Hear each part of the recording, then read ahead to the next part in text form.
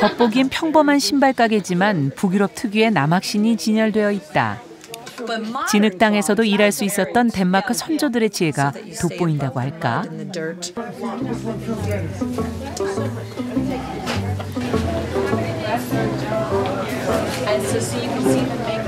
사람들이 길게 줄을 서 있다.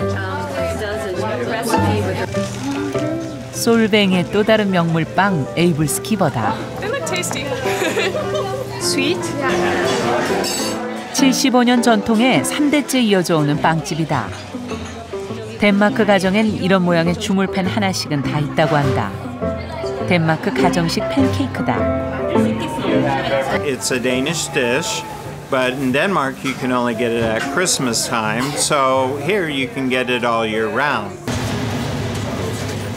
이 빵 역시 주재료는 밀가루로 간단하지만 현장에서 즉석으로 구워낸 신선함이 맛의 비결이다.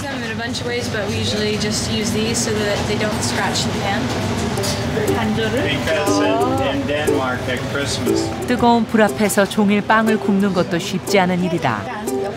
더구나 노릇노릇하게 만드는 작업은 단순해도 긴장이 되었다.